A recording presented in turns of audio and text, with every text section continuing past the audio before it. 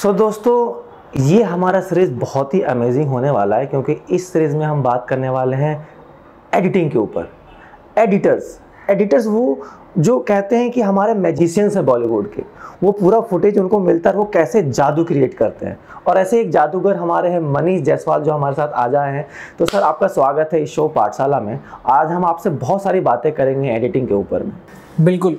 First of all thank you very much for inviting me तो sir, सबसे पहला मेरा ये सवाल है, ये एडिटिंग क्या होता है और एडिटर्स क्या करते हैं? Editing is a very intimate process, I feel. और it's really fascinates me. Editing table है जहाँ पे सारा मैजिक क्रिएट होता है, क्योंकि वो सबसे एंड प्रोसेस है। स्क्रिप्टिंग है, शूटिंग है, और सबसे एंड में आता है एडिटिंग। और जिसको हम पोस्ट प्रोडक्शन बोलते हैं वो सबसे इंटीमेट प्रोसेस है, सबसे क्रिएटिव प्रोसेस है, जहाँ पे सारा मैजिक क्रिएट होता है। बिकॉज़ हमारे पास जितने भी आवर्स ऑफ़ रॉ मटेरियल्स होते हैं, उसमें से सबसे बेस्ट निकालना होता है। We are pulling out the best from the editing so my job is very creative and very serious कि जितना इंटरेस्टिंग हमको एडिटिंग से निकालना होता है, वो बहुत इंपॉर्टेंट है, क्योंकि सब हम पे ट्रस्ट करते हैं। कि एडिटर है जो भी होगा हम पोस्ट में कर लेंगे। ऐसा आपने कई बार सुना भी होगा शूट पे कि ठीक है नहीं और it's okay will do it in a post ये हमेशा आप सुनते ही होंगे। कई बार ऐसा हुआ भी है कि कई स्क्रिप्टिंग होता है आ, हम पूरा एडिट का फ्लो डिसाइड करते हैं लीनियर रखेंगे। जब एडिटिंग टेबल पे बैठते हैं और कई बार मैंने चेंज भी किया है। लीनियर एडिट को नॉन लीनियर किया हमने।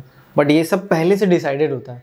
बट वो हम एडिट पे डिसाइड कर रहे हैं क्योंकि उसके अकॉर्डिंग कई सारे शॉर्ट्स भी मिसिंग थे। तो हमने उसको चेंज कर दिया एडिट के पैटर्न से। एडिट के पैटर्न से हम काफ़ी फ्लॉज भी छुपा सकते हैं। कितने सारे फ्लॉज होते हैं। एक्टर्स कभी कभी एन जी टेक्स बहुत देता है कभी कभी सही से डिलीवरी नहीं दे पाता है उसके फ्लॉज भी हम कई बार एडिटिंग से हटा देते हैं एडिटिंग के थ्रू डी ओ के कई सारे ऐसे शॉर्ट्स ऐसे फ्लॉज है एडिटिंग के थ्रू हम हटा देते हैं। डी का जो काम है और ज़्यादा इन्हेंस हो जाता है। एक्टर्स का काम और इन्हेंस हो जाता है। लेकिन कई ऐसे डायरेक्टर भी होते हैं जो एकदम एग्जैक्ट एकदम प्रिसाइज जो सोचते हैं वही शूट करते हैं वही एडिट होता है। ऐसे भी होता है। तो मैं दोनों तरीके से बोल रहा हूँ। Editing is all about selecting also कि कितना आप डेटा देख रहे हो आपके माइंड में सारा डेटा स्टोर होना चाहिए। और आपको पता होना चाहिए एग्जैक्टली exactly, मेरे को यहाँ से लेना है यहाँ से कट करना है। ये चीज़ यहाँ लगेगा। और डायरेक्टर ने आपको बोला इट्स नॉट वर्किंग तो आपको उनको ऑप्शन देना पड़ेगा ये नहीं वर्क करे ठीक है।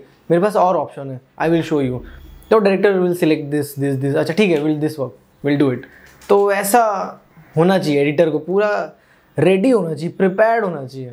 It's like it's like going on a war पहले आप विजन सुनते हो डायरेक्टर का स्क्रिप्टिंग सुनते हो। uh, सब टीम के साथ बैठते हो नरेशन होता है। तो उस समय आपके दिमाग में थोड़ा थोड़ा इमेज क्लियर होता है कि ऐसे करना ऐसे करना है और जब शूट होता है, जब आप एडिट पे उसको जब एडिट करते हो और जब फ़र्स्ट ड्राफ्ट आता है डायरेक्टर का रिएक्शन होता है कि ठीक है इट्स नॉट वर्किंग एक ड्राफ्ट और करते हैं, दो ड्राफ्ट तीन ड्राफ्ट चार draft after the five six draft जब डायरेक्टर बोलते हैं कि हाँ ऑलमोस्ट एटी परसेंट हम लोग हैं ऑन द वे अब हो जाए तो लगता है कि चलो, अब ऑलमोस्ट हमने अचीव किया नाइन्टी परसेंट करेंगे। उसके बाद भी मैं सेटिस्फाइड नहीं होता होगी नाइन्टी परसेंट हो गया है और hundred percent hundred ten percent करें।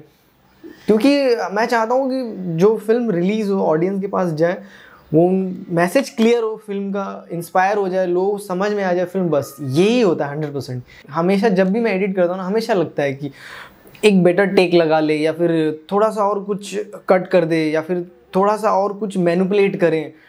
कुछ कर हमेशा लगता है कुछ मिसिंग है लेकिन मैं आपको एक चीज़ रिकमेंड करूँगा सजेस्ट करूँगा अपना एक्सपीरियंस कि as an editor as an creative artist आपको पता होना चाहिए कि फुल स्टॉप कहाँ लगाना है। Okay. आपको हमेशा ऐसे वंडर नहीं करते रहना है कि क्या करें और क्या करें। ओवर हो जाता है कभी भी। Overdo it's really bad as an artist आपके लिए। ओवर डू मत जाइए आप। सो so, एक छोटा सा नोट ऐड करना चाहूँगा एंड में। एडिटिंग uh, हम हमेशा हिडन प्रोसेस हुआ, हम एकदम हमेशा एंड में एंड प्रोसेस है क्रिएटिव प्रोसेस है। बट हम जितना हिडन रहते हैं ना, उतना ज़्यादा मैं अप्रिशिएबल फील करता हूँ, क्योंकि स्क्रीन आप में लोग देखते कभी एडिटर को याद नहीं करते, वो रिकग्नाइजेबल ज़्यादा नहीं होता है। यही सक्सेस एडिटर के लिए, कि आपकी फ़िल्म दिख नहीं रही एडिटेड है। क्योंकि अगर किसी ने बोल दिया कि एडिटेड है एडिट दिख रहा है तो वो एडिटर नहीं है फिर, वो एडिटिंग किया ही नहीं है फिर। एडिटिंग वही है कि फ़िल्म खत्म हो गई फ्लॉलेस कितना बार मैंने महसूस किया है फ़िल्म देखता हूँ और हम टाइम नोट करते हैं कि यार कितनी बड़ी एक घंटा है दो घंटा है पंद्रह मिनट है। टाइम नोट कर रहे मतलब आप बोल रहे हो फ़िल्म फ्लॉलेस नहीं जा रहा है। स्टोरी टेलिंग का वो ग्रिप नहीं पकड़ पा रहे हो आप। इसीलिए वो बोरिंग लग रहा है। और कितनी बार मैं फ़िल्म देखता हूँ ख़त्म हो गई? आपको इतना मज़ा है आप कनेक्ट हो गए फ़िल्म के साथ। इतना फ्लॉलेस स्टोरी टेलिंग था इतना अच्छा एडिट था। कई महीनों सालों दिनों लग जाते हैं एक एडिटिंग निकालने में। और उसके बाद जब फ़िल्म रिलीज़ होती है और लोग जब देखते हैं, वो जो अप्रिसिएशन है कि लोग बोलते हैं कि, मनीष इट्स रियली गुड अच्छा लग रहा है।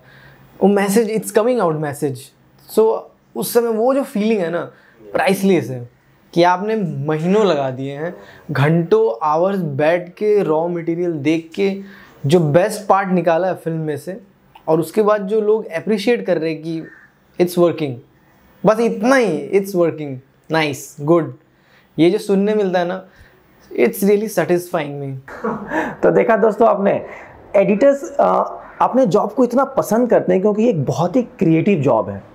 तो जब एक प्रोडक्ट फाइनल प्रोडक्ट ऑडियंस तक पहुँचता है तो वो जो एक तरह का एक जॉब सेटिस्फैक्शन मिलता है उनको तो ये उनको काफ़ी इम्फेसाइज करता है। तो इसी इस एपिसोड में इतना ही। नेक्स्ट एपिसोड में हम मिलते हैं और बात करते हैं इनसे, कुछ और सवाल पूछते हैं। मिलते हैं नेक्स्ट वीडियो में।